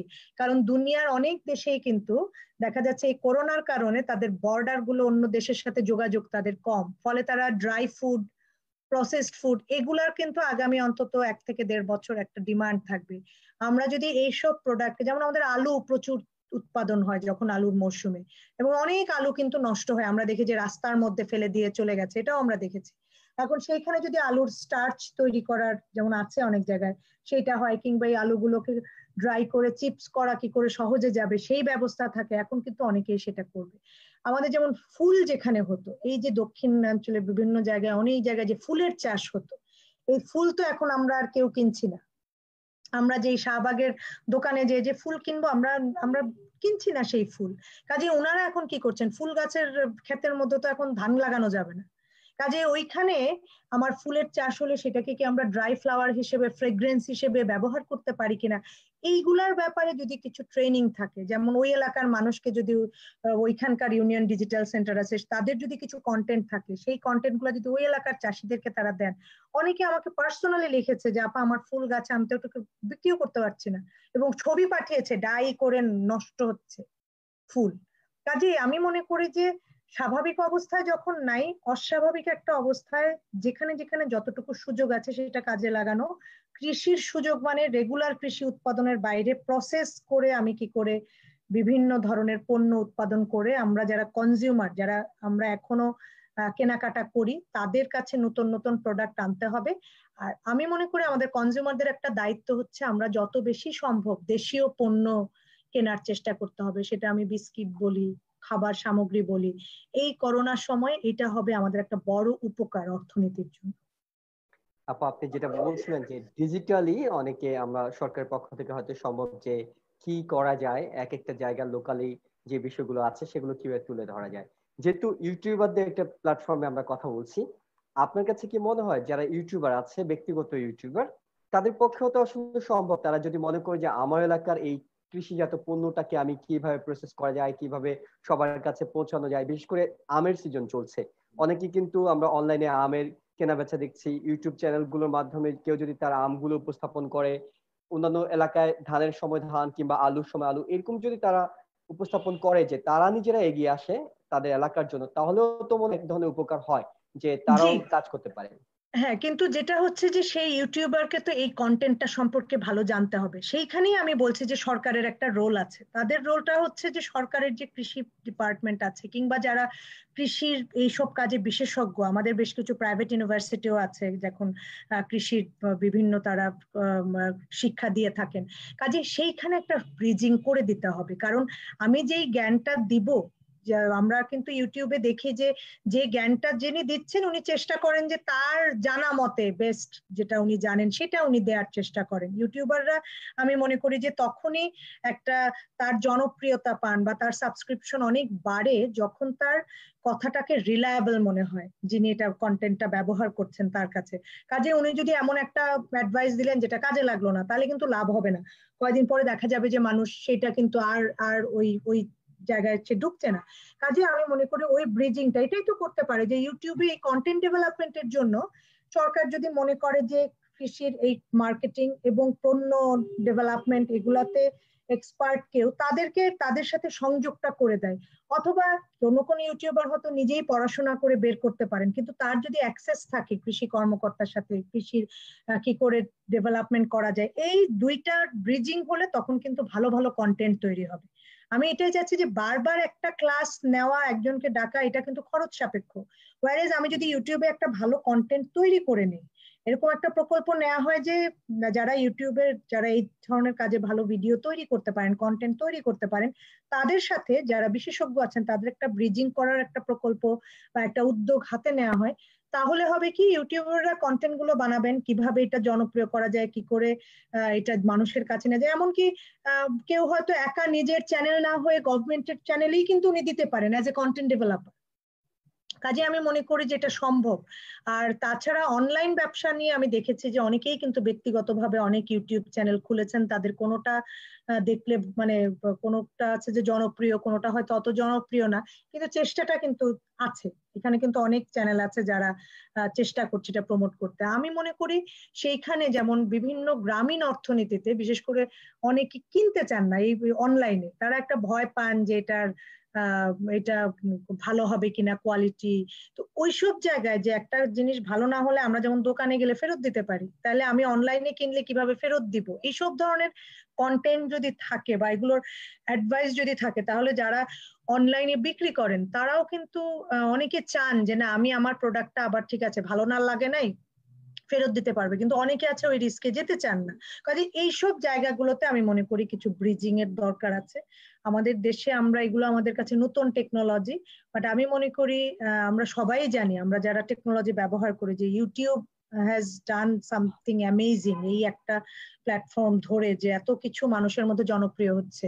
এখন সময় এসেছে যে আমরা হ্যাঁ আত্মোন্নয়নমূলক মানসিক স্বাস্থ্য বিষয়ক অনেক কিছু থাকবে, সেটা ওয়েলকাম কিন্তু অ্যাট দ্য সেম টাইম জীবিকার উন্নয়নমূলক এরকম ছোট ছোট টেকনিকগুলো, এগুলো মানুষকে শিখিয়ে দেয়া, কি করে সে তার পণ্য মানুষের কাছে সাপ্লাই দিবে, একটা গ্রামে গঞ্জে কি করে করবে, আমি মনে করি ওই ধরনের কন্টেন্ট থাকলে এবং সেইগুলো নিয়ে শুধু ইউটিউবে চালানোর পাশাপাশি এগুলো নিয়ে যদি এলাকায়, যেমন আমি যদি আমার এলাকায় যাই, আমার এলাকায় আমি অ্যারেঞ্জ করি তরুণদের মাধ্যমে, তারা হয়তো অনলাইনেই এরকম একটা অনুষ্ঠানে একদিন সে দেখবে আমার কন্টেন্ট তাহলে কিন্তু আমি অনেক মানুষের কাছে রিচ করতে পারছি। মানে আমি শুধু ইউটিউবে দিয়ে দিলাম, যাদের প্রচুর সাবস্ক্রাইবার আছে তাদের কথা নেই। কিন্তু আমি যদি একটা ভালো কন্টেন্ট হয়, আর আমি আমার এলাকার কোনো কলেজের বা স্টুডেন্ট যারা আছে তাদের হেল্প নেই, যে তারা ওইখানে অর্গানাইজ করল যে ওটা একদিন দেখবে সবাই। এবং এই ধরনের ভিডিও হলে প্রচুর দেখবে কিন্তু মানুষ। আমি এইভাবেও চিন্তা করা যায়। আপা প্রচুর মানুষ দেখছে আমাদের ফেসবুক পেজে লাইভটা তারা অনেকে কমেন্টস করছে তারা আপনার কথার প্রশংসা করছে তাদের কাছে ভালো লাগছে সেটাও তারা জানাচ্ছে। আরেকটা দুই একটা মন্তব্য আমরা কমেন্টস নিতে চাই সেটা হলো যে আসলে অনেকে জানতে চাইছেন আপনার কাছে যে বর্তমান সময় সবচেয়ে সংকটে শিল্প সাংস্কৃতিক চর্চার সাথে জড়িত। পেশাজীবী মানুষ এই বিপর্যস্ত পেশার মানুষ ঘুরে দাঁড়ানোর জন্য কি ধরনের পরিকল্পনা নেওয়া উচিত? একসঙ্গে আমি জানব আরও কয়েকটা কমেন্টস পড়ে নিচ্ছি। করোনা আক্রান্ত এই সময় মধ্যবিত্তের যে কর্মহীনতা অস্তিত্ব সংকট সৃষ্টি হয়েছে তা সামষ্টিক অর্থনীতিতে কি ধরনের প্রভাব ফেলবে? অনেকে জানতে চাইছেন ট্যুরিজম সেক্টর হোটেল রেস্টুরেন্ট ভীষণভাবে ক্ষতিগ্রস্ত উত্তরণের পথ কি? এরকম অনেকেই এরপর প্রশংসা করছেন। এই তিনটা বিষয় একটু হয়তো জানতে চাইছি আপনার কাছে। আচ্ছা প্রথমটা বোধহয় ছিল যে প্রথমটা কি ছিল? পরেরটা শিল্প সাংস্কৃতিক জগতে যারা আছেন তারা এইটা তো আসলে এটা খুবই চিন্তার ব্যাপার কারণ এটাও তো একটা প্রোডাক্ট মানে শিল্পের যে প্রোডাক্টটা শিল্প সংস্কৃতি তাদেরকেও তো এটা তার জীবিকা জীবিকা নির্বাহ করতে হয় এবং সেইগুলো হয় নানান রকমের অনুষ্ঠান চর্চা সেগুলোর মাধ্যমে। এবং আমরা দেখেছি বিভিন্ন সময় সাম্প্রতিক কালে কিন্তু ক্যাসেট বের করেও দেখা যায় যে আমরা এগুলা কিনি না আমরা যে অনলাইনে এগুলা শুনে ফেলি বিনা পয়সায়। কাজে আমাদের মধ্যে কিন্তু এক ধরনের শিল্পের জন্য যে মূল্য দেওয়া, শিল্পকে কদর করতে হলে যে সেই শিল্পকে মূল্য দেওয়া, এই সেন্সটা কেন যেন আমার কাছে মনে হয় যে অনেকখানি লোপ পেয়েছে। অথচ আমাদের ইতিহাস যদি আমরা দেখি যে একটা সময়ে রাজা কিংবা জমিদার কিংবা যারা ধনী ব্যক্তি ছিলেন, তারা কিন্তু কেউ একটু ভালো গান করে, কি ভালো কবিতা লেখে, কি কবিয়াল, কি ভালো নাচ করে, তাদের কিন্তু পৃষ্ঠপোষকতা দিতেন, সেই কবিকে বাড়তে দিতেন। এবং আমাদের এখন আমরা এই করোনা কালে দেখেছি যে যেভাবে আমাদের শিল্প সংস্কৃতির লোকরা, তারা তাদের সার্ভাইভেলে ছিলেন। কিন্তু এখন যেহেতু ডিমান্ড সাইডে একটা শ্রিঙ্ক করেছে, তাদের এই সার্ভাইভালটা ডিফিকাল্ট হয়ে পড়ছে। আমি এখানে মনে করি যে একদিক দিয়ে এই শিল্পীদেরকে সহযোগিতার জন্য, কারণ শিল্পীরা তো হাত পাততে পারবেন না। সেটা তাদের যে মানে আত্মসম্মানের জায়গাটা, সেইখানে এটা বড় আঘাত। তারা না খেয়ে থাকলেও হাত পাততে পারবেন না। কিন্তু তাদেরও তো সংসার আছে। কাজে আমি মনে করি যে তাদের অনেক সংগঠনকে আমি দেখেছি। আমি দু একটা প্রোগ্রামে অংশও নিয়েছি এরকম। অনেক সংগঠন আয়োজন করছে।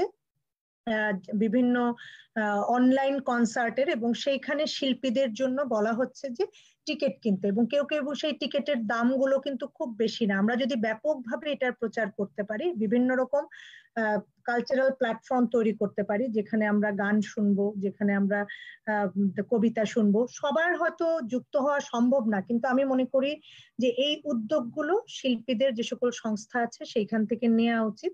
এবং সেটার সাথে যদি যারা এই যে আপনারা ইউটিউবার বলি কিংবা যারা অনলাইন কন্টেন্টে ভালো এগুলো হ্যান্ডেল করতে অভ্যস্ত, তাদের সাথে যোগাযোগ করে এই ধরনের কনসার্ট যদি করা হয়, আমি নিজে অনলাইনে টিকিট কেটে সেদিন বাপ্পা, বাপ্পার একটা কনসার্ট হচ্ছিল। আমি নিজে ঘরে বসে সেই কনসার্টে গান শুনেছি। মানে উনিও ওনার স্টুডিওতে বসে গাইছেন, আমরা অনলাইনে বসে শুনছি এবং আমরা কিন্তু টিকিট কেটে তার প্রোগ্রামটা দেখেছি। তো আমি মনে করি যে এইটা যদি অন্যরাও করেন, কিছু মানুষের মানে রুটির, রুজির ব্যবস্থা হবে। পাশাপাশি আমি মনে করি জাস্ট সহযোগিতার জন্য তাদের সংস্থাগুলাকে এগিয়ে আসতে হবে। চাঁদা তুলে বলি, সরকারের সহযোগিতা দরকার। সব পেশাই তো সংকটে আছে। সরকারকে যদি বলি যে কোনো বিশেষ পেশা, সরকার যেটা করছে যে একেবারে খাদ্য সংকটে আছে কিংবা অর্থ সংকটে আছে, তাকে কিছু সাহায্য। কিন্তু সেটার জন্য আসলে একজন শিল্পী তো যাবেন না। কাজে তার জন্য তার যে সংস্থার লোকজন, তারাই এগিয়ে আসতে হবে এবং আমি মনে করি যে এই কনসার্ট গুলোকে, এই ধরনের প্রোগ্রাম গুলোকে জনপ্রিয় করতে হবে। সেটা ঈদ উপলক্ষে বলি বা উইকেন্ড উপলক্ষে বলি এটার মধ্যে এটাকে জনপ্রিয় করতে হবে। এবং আমরা যারা ইউটিউব কিংবা অন্য জায়গায় অনলাইনে যে সকল কন্টেন্ট দেখি, সেইখানেও আমাদের কিন্তু পেমেন্টের যে আমাদের চিন্তা ভাবনা আমাদের মন মানসিকতায় পরিবর্তন আনতে হবে। আমরা যদি মধ্যবিত্তের কথা বলি, যেটা আপনি বলছিলেন যে অনেকে চাকরি হারাচ্ছে, সামষ্টিক অর্থনীতিতে কি প্রভাব পড়বে? মানে এটা কিন্তু উভয়মুখী। মানে অর্থনীতির শিল্প, কল, কারখানা, অফিস, আদালত ঠিক মতো চলছে না বলে এই মানুষগুলো কাজ হারাচ্ছে। আবার এই মানুষগুলো যখন কাজ হারাচ্ছে, তাদের হাতে পয়সা থাকছে না, তার ইনকাম নাই। ফলে উনি কিন্তু আবার কেনাকাটা করছেন না, ফলে ওই শিল্প পণ্যের জন্য আবার চাহিদা কমছে। এই জায়গাতে আমি মনে করি সরকারের পাশাপাশি ধনী মানুষদের কিন্তু একটা রোল আছে। তাদের, তারা যদি তাদের শিল্প, কলকারখানার লোকজনকে না টিকিয়ে রাখার চেষ্টা করেন, তাহলে কিন্তু ওনার পণ্যই আবার আরেকটু কারণ আমি উৎপাদন করছে, আমারটা আপনি কিনছেন, আপনি উৎপাদন করছেন, আপনারটা আমি কিনছি। সুতরাং আমাদের এখানে চিন্তা থাকতে হবে যে আমি মানুষগুলোকে কি করে টিকিয়ে রাখতে পারি, আমার সঞ্চয় ভেঙে হলেও টিকিয়ে রাখতে পারি, তাইলে অর্থনীতিতে, অর্থনীতির চাকাটা ঘুরবে। তবে এটাও ঠিক, একটা মানুষ তো আর তার সঞ্চয় সব ব্যবহার করবেন না, কারণ এটা অনেকটা লম্বা সময় ধরে চলবে এই সংকট। ফলে আবারও ঘুরে ফিরে আসছে যে যেইখানে যতটুকু সুযোগ তৈরি হয়েছে, যেটা আমি মনে করি অনলাইন ব্যবসা অ্যাগ্রো প্রসেসিং এর ব্যবসা বিভিন্ন ধরনের স্থানীয় এলাকা ভিত্তিক কৃষিজাত পণ্য উৎপাদনের ব্যবসা, এইসব জায়গাতে মানুষকে যেতে হবে। আপনাকে কিছুটা আমি বলব যে নিজের বেড়াটার বেড়াজাল ভেঙেই যেতে হবে। আমরা অনেক রকমের অনেক কিছুতে থাকি। আমরা মনে করি এই কাজটা আমার না, এই কাজটা আমি করব কেন? কিংবা অমুকে এই কাজটা করবে কেন? ওই জায়গা থেকে এখন কিছুটা বের হইতে হবে। আমরা সংকটে আছি। আমাদের যদি বলি প্রত্যেকেই আমরা আমাদের জায়গায় স্বাভাবিক অবস্থায় নাই। সেইখানে এই দুর্যোগে সরকারকে অবশ্যই সহযোগিতা করতে হবে। সাধারণ মানুষ যারা আমরা ধনী আছি, ধনীদেরকে আমি আমাকে বলছি না আমি নিজে অত ধনী না, কিন্তু আমি বলছি যে, যারা ধনী আছে সমাজে, তাদেরকে পাশে দাঁড়াতে হবে অন্যের। সাহায্য, সহযোগিতা এবং পৃষ্ঠপোষকতা। অনেক সময় খালি ক্যাশ দিলে একজন কিন্তু নেবে না, তার সে পৃষ্ঠপোষকতাটা নেবে, সে কাজ চায়। আর ইতিমধ্যে আমরা একটা ঘোষণা দেখেছি যে সরকার কিন্তু বলেছেন যে, সংসদ সদস্যদেরকে তারা বিশ কোটি করে টাকা দিবেন এলাকার বিভিন্ন উন্নয়ন কর্মকাণ্ডে লাগাতে। আমি মনে করি এই টাকাটা কীভাবে, কি ধরনের উন্নয়ন কাজে তারা ব্যবহার করবেন এরকম একটা দিক নির্দেশনা থাকা উচিত। কারণ এগুলো যদি এমন কাজে ব্যবহার হয়, যেখানে কিছু মানুষের কর্মসংস্থান হবে, তাহলে কিন্তু আপনি চিন্তা করেন সারা দেশের সব কনস্টিটিউশনে কিন্তু এই টাকা ব্যয় হবে। এবং সব জায়গাতে কিছু কর্মসংস্থান কিন্তু হবে। আমার মনে হয় যে এই দুটো প্রশ্নের উত্তর দিয়েছি। আপনার আরেকটা প্রশ্ন ছিল বোধ হয় হোটেল এবং রেস্টুরেন্ট হ্যাঁ। আচ্ছা এইখানে একটু আমাকে অনেকেই বলেন যে আপা এত কিছু খুলে দিচ্ছি হোটেল রেস্টুরেন্ট কেন খুলবে না? দেখুন অন্য সবকিছু খুলে দিলেও কেনাকাটা দোকানে কিন্তু আমি মাস্ক পরে যেতে পারি। কিন্তু রেস্টুরেন্টে গিয়ে খাওয়াটা কিন্তু মাস্ক দিয়ে সম্ভব না। খাওয়াটা আমাকে মাস্ক খুলে খেতে হয়। এখন রেস্টুরেন্ট খোলা হলে তো এটা সব রেস্টুরেন্টের জন্যই এক নিয়ম হতে হবে। সেই ক্ষেত্রে আমাদের যেগুলো মনে করেন যে ছোট রেস্টুরেন্ট সকালে যেখানে পরোটা, ডিম ভাজা কিংবা দুপুরের খাবারের যে রেস্টুরেন্টগুলো, যেখানে ভিড় ভাট্টা লেগেই থাকে, সেই রেস্টুরেন্টগুলা কিন্তু একটা বড় ঝুঁকি তৈরি করবে। এখনই এই ঝুঁকিতে আমরা যাব কিনা, সেটা কিন্তু ভাবনার বিষয়। বরং আমি মনে করি যে টেক এর ক্ষেত্রে এই রেস্টুরেন্টগুলা যদি তাদের যে এলাকায় বিশেষ করে যেগুলো অফিস এলাকায় অবস্থান করেন, সেই এলাকার যেসব অফিস খুলেছে, আমরা যেমন দেখি টিফিন বাটি দিয়ে আমরা দেখি কিন্তু অনেক অফিস আদালতে খাবার পৌঁছে দেয়। ঠিক সেরকম যদি তারা প্রস্তুতি নেন এবং এটা কিন্তু কিছু কিছু জায়গায় করা হচ্ছে। তারা যদি তাদের এলাকায় লিফলেট বিতরণ করেন যে ওনারা সাপ্লাই দিতে পারেন, এটা একটা অল্টারনেটিভ আবারও বলছি পারফেক্ট অল্টারনেটিভ না। কিন্তু খুলে দেওয়াটাও কিন্তু অনেক রিস্কি কারণ রেস্টুরেন্টে হয়তো টেক অ্যাওয়েটাই বেস্ট সলিউশন বসে খাওয়াটা খুব বড় রেস্টুরেন্ট যেখানে অল্প মানুষ যায়, সেটা ছাড়া যেসব জায়গায় আমরা প্রচুর ভিড় করে যাই সেইখানে কিন্তু এটা স্বাস্থ্য ঝুঁকি বাড়াবে। কারণ আপনি মুখ বন্ধ করে মাস্ক পরে তো খেতে পারবেন না। ফলে আমি মনে করি যে রেস্টুরেন্টের বিজনেসের ক্ষেত্রে এলাকা ভিত্তিক টেক অ্যাওয়ে কুক আপ বা এই ধরনের যারা আছেন তাদের সাথে সংযোগ যেখানে বাসায় অর্ডারের ক্ষেত্রটা সহজ করা এবং অনেকে আছে যে অনলাইন অর্ডারের বিষয়গুলোকে অনেক কঠিন মনে হয়। এটা ঠিক, সবাই কিন্তু খুব অভ্যস্ত না। কিন্তু এলাকা ভিত্তিক যে এখানে এই দোকান থেকে সাপ্লাই দেয়, এখানে বলে আসলে আমাকে সাপ্লাই দিবে, সেটা কিন্তু সম্ভব। এবং এই জায়গাতে সীমিত মাত্রায় হয়তো খোলা যেতে পারে, তাতে যেমন ওই রেস্টুরেন্টের যে যিনি বিতরণের কাজ করত বা বয় হিসেবে যা যে পরিবেশন করত, সেই পরিবেশনকারী হয়তো এখন সাপ্লাইয়ের কাজে কাজ করতে পারেন। তাকে হয়তো একটা সাইকেল কিংবা মোটর সাইকেল দিলে উনি হয়তো রেস্টুরেন্টের হয়ে সরবরাহের কাজটা করতে পারেন। সেখানে হয়তো পণ্যের দাম একটু বাড়বে। আর যারা রেস্টুরেন্টে ভেতরে খেতেন, তারা টেক এর মতো থাকবে, তারা তার সেই খাবারটা নিয়ে চলে যেতে যেতে পারেন, একটু দূরত্ব মেনে লাইনে থেকে খাবারটা নিতে পারেন। এই ধরনের মানে টেক অ্যাওয়ে যেটাকে বলছি, সেটার মাধ্যমেই আসলে করতে হবে। এই মুহূর্তে রেস্টুরেন্ট খুলে দেওয়ার যে ঝুঁকি, সেটাতে যাওয়াটা মনে হয় ঠিক হবে। আপনি অনেকগুলো উপায়ের কথা বললেন, হোটেল, রেস্টুরেন্টের ক্ষেত্রে যারা শিল্প সাহিত্য চর্চা করেন, তাদের ক্ষেত্রে অনেকগুলোতেই বিকল্প উপায়ের কথা বলছেন। পাশাপাশি একটা কথা বলেছেন যে, সংসদ সদস্যদেরকে সরকার কিছু টাকা দিচ্ছে তার এলাকায় কাজ করার জন্য। আমরা যতদূর দেখতে পাই যে এখানে পঞ্চাশ লাখ পরিবারকে আড়াই হাজার টাকা করে দেওয়ার কথা, পরিসংখ্যান বলছে যে, এখনও চৌত্রিশ লাখ পরিবার টাকাই খুঁজে পায়নি। তাহলে এই যে টাকাগুলো আমরা দিচ্ছি আসলে সরকার আরও নানা খাতে নানা প্রণোদনা ঘোষণা দিয়েছে। কিন্তু প্রণোদনার টাকাটা যথাযথ ব্যবহার হচ্ছে কিনা, যে লোকটা ঠিক পাওয়ার কথা সে লোকটা পাচ্ছে কিনা, যারা দেখার কথা তারাই আমরা দেখছি যে একশো জনের বেশি জনপ্রতিনিধি এর মধ্যে বহিষ্কার হয়েছেন ত্রাণের চাল চুরি, নানা অব্যবস্থাপনার কারণে, অনিয়মের কারণে। তো এই জায়গাগুলো মানে স্বচ্ছতা তৈরি করা, এটা আসলে কতটা আশা করতে পারেন যে স্বচ্ছতা হবে? কারণ আমরা তো আসলে মানুষ হিসেবে যতই করোনা হোক, খুব একটা পরিবর্তন হয়নি আমাদের। দেখুন, এগুলো সবকিছু সমস্যা স্বচ্ছতার জন্য যে হচ্ছে না তা না। যেমন ধরেন সরকারের যে ব্যাংকের মাধ্যমে শিল্প খাতের জন্য যে প্রণোদনা, বড় শিল্পের জন্য আছে, ক্ষুদ্র মাঝারি শিল্পের জন্য বিশ হাজার কোটি টাকা আছে। সেই প্রণোদনাগুলো কিন্তু ডিসবার্স হচ্ছে না, অস্বচ্ছতা তার জন্য নয়। সেখানে বলা হয়েছে যে ব্যাংকগুলোকে তাদের ক্লায়েন্টের রিস্ক দিতে হবে। তার ক্লায়েন্টের সাথে সম্পর্কের ভিত্তিতেই তিনি দিবেন। এখন ব্যাংক যে নয় পার্সেন্ট সুদে ঋণ দিবে, সেইখান থেকে সরকার ফেরত দিয়ে দিবে, ধরেন ক্ষুদ্র মাঝারি উদ্যোক্তাদের ক্ষেত্রে পাঁচ পার্সেন্ট এখন বাকিটা তো ব্যাংকের লায়াবিলিটি বাকিটা যে ব্যাংকের লায়াবিলিটি এখন ব্যাংক তো তার ক্লায়েন্টকে বুঝে ব্যাংক ব্যাংকের তো লসে ফেলা যাবে না। বা ব্যাংক নিজেও লসে পড়লে সেইখানে তো আমাদেরই আবার আমানতকারীদের অর্থ আছে এবং অর্থনীতির ক্ষেত্রে এটা একটা বিরাট রিস্কের জায়গা। কাজে ব্যাংকও বুঝে শুনে নিচ্ছে যে কোন ক্লায়েন্টকে সে ঋণ দিবে, না দিবে। এই বোঝাপড়াটা করতে গিয়ে ব্যাংক বলছে যে তার জন্য কস্টলি হয়ে যাচ্ছে। যেই রেটে তাকে ঋণ উনি পাবেন সেইটা কিন্তু দেখা যাচ্ছে যে ব্যাংক বলছে যে তার পোষাবে না। এখন রিফা, এইটা নিয়ে আমি যতদূর যেটা দেখলাম আপনাদের মিডিয়া মারফত আর অন্যভাবে বিভিন্ন আলোচনার মধ্যে, যে বাংলাদেশ ব্যাংক কিন্তু এখন ব্যাংকগুলোর সাথে বসেছে যে তারা কি হলে, কীভাবে হলে তারা দ্রুত এই ঋণটা ডিসবার্স করবেন? এবং সেই ক্ষেত্রে ব্যাংকগুলোর পক্ষ থেকে বলা হয়েছে যে, অগাস্ট মাসের মধ্যেই তারা প্রায় সব ঋণ ডিসবার্স করে ফেলবেন। তাতে হয়তো আনুষ্ঠানিক খাতে যে সকল ব্যবসা বাণিজ্য আছে, তাদের উপকার হবে। কাজে এই জায়গাটা কিন্তু সমস্যাটা স্বচ্ছতার ছিল না। সমস্যাটা মূলত ছিল যে ব্যাংকগুলো কীভাবে রিস্ক ম্যানেজ করবে সেইটার বিষয়। অন্যদিকে আপনি রাইটলি বলেছেন যে, পঞ্চাশ লক্ষ পরিবারকে আড়াই হাজার টাকা করে যে দেওয়ার বিষয়টা, সেইখানে কিন্তু আসলে আমি যেটা বুঝেছি যে সরকার নিশ্চিত হতে চাচ্ছে যে ঠিক মানুষটার কাছেই যেন যায় টাকাটা। এই কারণেই দেখা গেছে যে যে নাম মানে যেহেতু আমাদের আগে থেকে তালিকা ছিল, কে গরিব, আপনি, আমি, আমার আয়ের কতখানি পরিমাণ কি, সেই তালিকা যেহেতু ছিল না, ফলে তালিকা করতে গিয়ে যখন তারা মানে করা হলো যে একটা বিকাশ নাম্বার বা মানে মোবাইল ফাইন্যান্সিয়াল বিকাশ, রকেট, নগদ, যাই হোক, সেই নাম্বারগুলো করার জন্য এক একটা, বা কে দরিদ্র সেইখানে কিন্তু আমরা অনেক রকমের অনেক কিছু দেখেছি। এখন এটা যে নিশ্চিত হতে হবে যে ঠিক মানুষটার কাছে যাচ্ছে কিনা, সেই কারণে কিন্তু সময়টা বেশি লাগছে।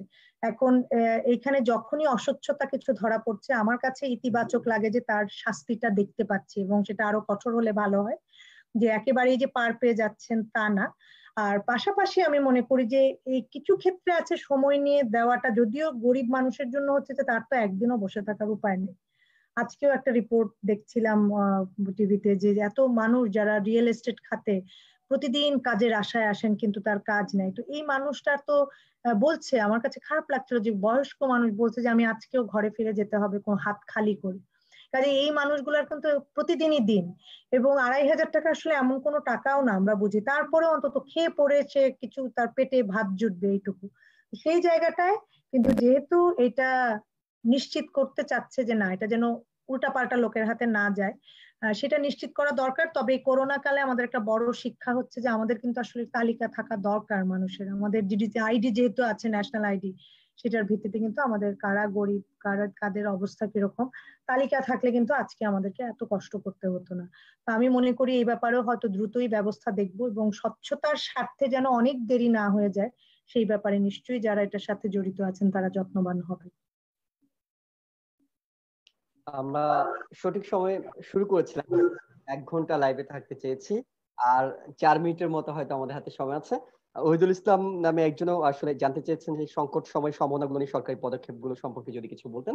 আমরা আসলে সবশেষে কিছু সম্ভাবনার কথা শুনেই শেষ করতে চাই, কারণ অনেক তো আসলে করোনা নিয়ে মানসিক চাপ অনেকের মধ্যে আছে, এক ধরনের অস্বস্তি তৈরি করছে। তার মধ্যে যদি জীবন জীবিকা নিয়ে জীবিকার সংকটটা আরও বড় হয়, তো সেক্ষেত্রে আমরা কিছু সম্ভাবনার কথা শুনতে চাই যে এই বিষয়গুলো হয়তো আমাদের কাছে নতুন করে ধরা দেবে। এই এই বিষয়ে হয়তো অসঙ্গতি ছিল, সেই অসঙ্গতি গুলো দূর হয়ে যাবে।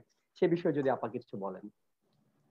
আমরা শেষে যে আমি বলতে চাই যে জীবন জীবিকা আসলে দ্বিমুখী না। আমাদের স্বাস্থ্য খাতে অনেক বরাদ্দ আরও হলে ভালো হতো, কিন্তু যেই বরাদ্দটুকু দেয়া হয়েছে, আমি মনে করি সাম্প্রতিক সময়ে বরং একসাথে এতগুলো দুঃখজনক ঘটনার এক্সপোজারটা অ্যাটলিস্ট আমাদেরকে বড় করে ধাক্কা দিয়েছে এবং এই ধাক্কায় কিছু কাজ হবে বলে আমি আশাবাদী যে আগামীতে এই লোকগুলোর শাস্তি হলে আগামীতে কিন্তু এই ধরনের অপচয়, এই ধরনের স্বাস্থ্য ব্যবস্থার দুর্বলতায় কেউ যেতে কিন্তু চিন্তা ভাবনা করবেন এবং এইটাকে ঘিরে আমাদের স্বাস্থ্যর সুযোগ সুবিধা বাড়ানোতে মনোযোগী হবেন, এটা আমি একদিকে আশাবাদী। অন্যদিকে আমি আগেই বলেছি বা আমাদের আলোচনায় এসছিল যে আমাদের যেমন অনেক জায়গায় অনেক কিছু সংকুচিত হয়েছে, অনেক কিন্তু নতুন সম্ভাবনাও তৈরি হয়েছে। আপনি আজকে যে প্ল্যাটফর্মে আমি কথা বলছি, আসলে এটা বলা হচ্ছে যে ইউটিউবের বিষয়টা, এটাকে কাজে লাগিয়ে যে নানান কিছু যে করা যায়, আমি অনেককে দেখছি যে এই সময় তারা রান্না বান্নার ইউটিউব চ্যানেল খুলেছে, অল্প সময়ে তাদের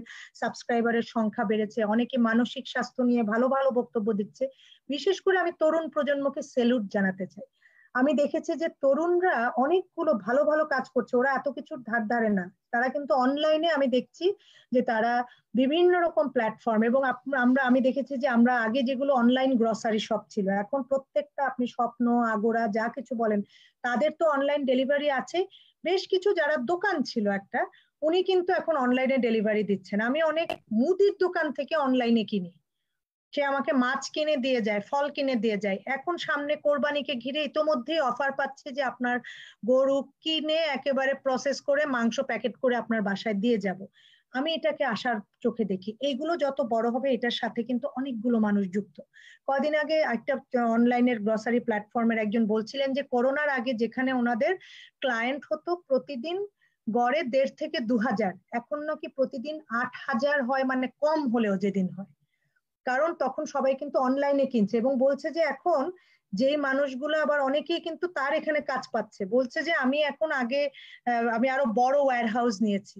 সেইখানে গ্রসারি বিভিন্ন আইটেম এনে রাখছি। সেটার সাথে প্রচুর মানুষ কাজ করছে এটার প্রসেসিং এর ডেলিভারিতে এবং এটার যে কম্পিউটারে হিসাব ম্যানেজমেন্ট সেই জায়গায় তার লোক দরকার হচ্ছে। তার মানে এরকম কিন্তু বেশ কয়েকটা প্ল্যাটফর্ম আমাদের চোখে পড়ে। কাজে আমি বলব এখন এই সুযোগগুলো তৈরি হয়েছে, এই সুযোগ যাতে সবার কাছে যায়, কারণ একটা গ্রামের ছেলে বা মেয়ে তাদের অনেকের কিন্তু ভালো ইন্টারনেট কানেকশন নাই। আমাদেরকে অবশ্যই ইন্টারনেট কানেকশনটাকে অনেক কম খরচে, ভালো স্পিডে মানুষের কাছে যেন যায়, সেই ব্যবস্থাটা নিতে হবে। সেই দাবিটা বা সেই আশাটা আমি রাখতে চাই। আমি মনে করি বেশ কিছু নতুন কাজের প্ল্যাটফর্ম তৈরি হয়েছে। আমাদেরকে আমাদের নিজস্ব, আমি দেখছি তরুণরা কিন্তু অনেক কিছু ভেঙে বের হয়েছে। আমি কিছু খুব স্মার্ট তরুণকে দেখেছি, সে বলছে সে বাসায় রান্না করে নিজে পৌঁছায় দিয়ে যাচ্ছে। মানে এটা চিন্তা করছে না যে, আরে আমি কি অমুক বাড়ির অমুক ছেলে, আমি কেন ডেলিভারি দিব খাবার? সে কিন্তু সেটা ভাবছে না। আমি এটাকে স্বাগত জানাই যে মানুষ বের হয়ে আসছে তরুণ প্রজন্ম বের হয়ে আসছে যে নতুন চিন্তা ভাবনা করতে। অনেকেই ঘরে বসে ব্যবসা করছেন, অনেক নারী উদ্যোক্তা আমি দেখছি যে তারা, যারা ভেঙে পড়েছিলেন শুরুর দিকে, তারা উঠে দাঁড়াচ্ছেন, নতুন করে ভাবছেন। এই যে বললাম যে ঝালমুড়ির মশলা বিক্রি করছেন, এটা তার চিন্তা থেকে এসছে যে আমি এই সময় কি করতে পারি? আমি নানান জনকে দেখছি, আমি যশোরে একজনের কাছ থেকে আমি কিনলাম, আপনাদের মিডিয়াতেই ছিল, চৈতি। হ্যাঁ আফরোজা চৈতি সময় টিভিতে ছিলেন। আমি তার কাছ থেকে, উনি এখন অনলাইনে প্রচুর প্রোডাক্ট সাপ্লাই দেন এবং আমি তার কাছ থেকে কিনলাম বেশ কিছু প্রোডাক্ট এবং সেগুলো প্রত্যেকটা এত ভালো মানে এক্সেপশনালি আমি যশোরের গুড় ঢাকায় বসে পাচ্ছি। সুতরাং আমি কিন্তু দেখছি যে এরা কিন্তু এগিয়ে আসছে, এরা কিন্তু বসে নেই, এরা থেমে নেয় এবং এরা অনবরত বলছে, আপা, আমাদের কোনো সমস্যা নেই, আমরা চেষ্টা করছি আমাদের ভালো কাজ করতে। তো আমি মনে করি যে আমরা যদি আমাদের এই যে একটা বেড়া জালে আমরা অনেকে আবদ্ধ করে রাখি। অনেকে মনে করে ডক্টর নাজদিন কেন গান গাবে? আমি কিন্তু গান গেয়ে গিয়ে মাঝে মাঝে পোস্ট দিই। হ্যাঁ সেটা করি। অনেকে আবার বলেন যে, না, একটু ব্যক্তিত্বের খোলসে থাকতে হবে। আমি কিন্তু মনে করি যে প্রত্যেকটা মানুষ দিন শেষে আমরা যদি নিজেকে মানুষ ভেবে নিজেকে দেখি যে আমি একটা রক্ত মাংসের মানুষ, আবেগ, সাহস, অনুভূতি, দুঃখ কষ্ট, বেঁচে থাকার সংগ্রাম করা, সবকিছু মিলিয়ে আমি একজন মানুষ। এবং সেইখান থেকে ঘুরে দাঁড়ানো সম্ভব। আজকে আমরা যারা অনুষ্ঠানটা দেখার সৌভাগ্য হচ্ছে, আমরা কিন্তু অনেক সৌভাগ্যবান। যে অ্যাটলিস্ট আমাদের নিশ্চয়ই একটা স্মার্টফোন আছে অথবা একটা ল্যাপটপ আছে, নাহলে আপনি অনুষ্ঠানটা দেখতে পেতেন না। আমি বলব যে ইউটিউবার বিডি যারা, তারা মানুষের জন্য কিছু, তারা প্রচুর ভালো ভালো কন্টেন্ট তৈরি করছে। আমি মনে করি কর্মক্ষেত্রে কাজে লাগবে এরকম আরও কন্টেন্ট তারা তৈরি করবে এবং এই ক্ষেত্রে সরকার এগিয়ে আসবেন যে এই কন্টেন্ট গুলোকে সাধারণ মানুষের কাছে নিয়ে যাওয়ার ব্যবস্থাটা তারা করবেন এবং আমরা এই সময়টা পার করে দিতে পারব। আমরা যদি একটু মানুষের পাশে দাঁড়াই, আপনার আমার প্রত্যেকের পাশে দু চারজন মানুষ যাদের, যারা আমাদের সামান্য সাহায্যে বেঁচে থাকতে পারবে, এইটুকু আমরা করি। আমাদের হয়তো এই সময়ের ভোগ তো এমনিতেই কব করছি আমরা। কিন্তু আমরা আরও দুটা চারটা মানুষের পাশে দাঁড়ালে অর্থনীতির চাকা কিন্তু ঘুরবে। যেই টাকাটা আমি রেস্টুরেন্টে দিতাম ধরেন, এখন যদি আমি আরেকটা সাধারণ মানুষকে হেল্প করি, সেই টাকাটা কিন্তু সে খরচ করবে। এবং আমি মনে করি যে এই, এইভাবে যদি অর্থনীতির চাকা ঘুরতে থাকে, তাহলে আমরা ঘুরে দাঁড়াতে পারব। আপু, আপনাকে অসংখ্য ধন্যবাদ। আমরা একেবারেই শেষ করছি না।